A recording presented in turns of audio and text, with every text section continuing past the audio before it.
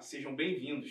O Crefito 2 abre o Crefitou em comemoração ao Dia dos Estagiários.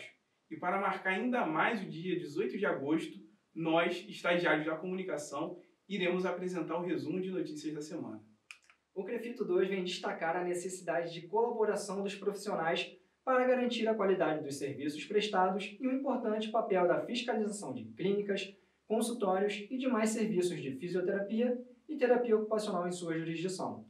O Conselho destaca que as ações de fiscalização realizadas sem aviso prévio asseguram a integridade, a transparência do processo e a qualidade no atendimento à população. As fiscalizações do CREFITO 2 têm um caráter preventivo, orientativo e garantem que os serviços estejam em conformidade com as normas e regulamentações, visando identificar possíveis irregularidades, que em situações normais passariam despercebidas. O CREFITO 2 destaca que os conselhos profissionais têm prerrogativa legal para realizar inspeções e fiscalizações sem prévio aviso, garantindo assim as regulamentações relacionadas às profissões. O Conselho participou de um encontro em defesa dos direitos dos pacientes dos planos de saúde. A presidente da associação Nenhum Direito a Menos, doutora Fabiane Alexandre Simão, se reuniu com os representantes do Conselho na sede da autarquia para discutir ações contra práticas abusivas das operadoras.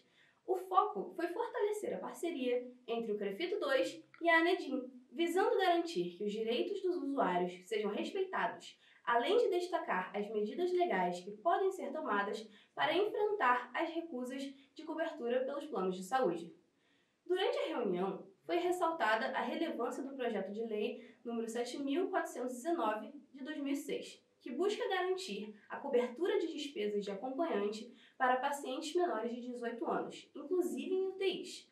Em apoio à ANEDIM, o CREFITO 2 convoca todos a se mobilizarem nas redes sociais, marcando parlamentares e chamando a atenção para a importância desse projeto. O CREFITO 2 comemora uma importante vitória na defesa dos direitos dos terapeutas ocupacionais. A Justiça atendeu ao pedido de tutela de urgência feita pelo Conselho e determinou que o município de Natividade ajuste a carga horária dos terapeutas ocupacionais para 30 horas semanais, conforme a Lei nº 8.856 de 1994. A decisão reforça a garantia de condições de trabalho justas e adequadas para os profissionais e assegura a qualidade do atendimento à população. O CREFITO 2 segue firme na missão de sempre buscar o respeito às leis que regem essas profissões. O CREFITO 2 está na linha de frente na luta contra a expansão do EAD em cursos de graduação em fisioterapia e em terapia ocupacional, atuando ativamente para suspender novas autorizações de cursos de graduação nessa modalidade, enfatizando a importância das práticas presenciais. Comprometido em garantir que as diretrizes curriculares dos cursos sejam integralmente cumpridas, o Conselho incentiva os estudantes a realizarem denúncias de irregularidades em cursos EAD que desrespeitem as normas e disponibiliza canais para que essas denúncias sejam encaminhadas ao MEC, fortalecendo a luta pela qualidade da educação nas profissões. Para saber na íntegra todas as notícias e para ficar por dentro de todas as ações do Conselho, continue acompanhando o site do Crefito 2, as redes sociais e o nosso canal no YouTube. Ative o sininho, curta, comente e compartilhe.